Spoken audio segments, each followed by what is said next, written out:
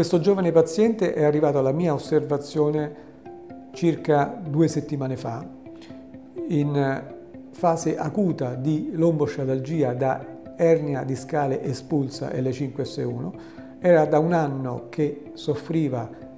con gli effetti dell'espulsione della ernia discale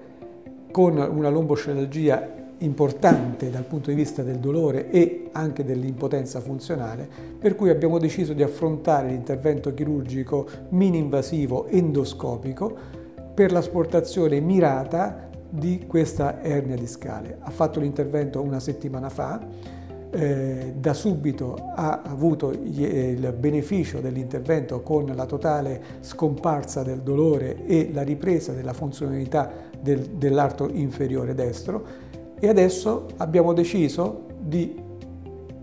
di eh, concludere l'intervento con il eh, tentativo di rigenerazione del disco intervertebrale, quindi avendo il disco subito un'espulsione di tessuto, noi andremo a rigenerare il tessuto espulso mediante l'impianto di cellule staminali mesenchimali.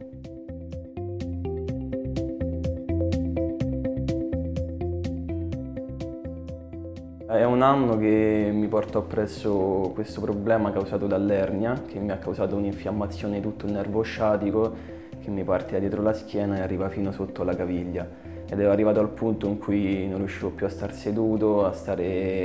eh, in piedi per un tot di tempo e, e soprattutto a volte non riuscivo neanche a dormire. Lunedì invece mi sono sottoposto a questo intervento con la tecnica endoscopica e ho fatto anestesia locale e da subito dopo l'intervento, da quando mi sono risvegliato, il dolore alla gamba era totalmente sparito, non avevo più nessun residuo di infiammazione o di sensazioni, sono riuscito a tornare a dormire, a star seduto e a camminare, a stare in piedi. E non è finito qui il percorso perché adesso abbiamo deciso con il dottore che faremo un intervento con le cellule staminali per cercare di rivitalizzare il disco e con la speranza appunto di tornare a stare bene come prima,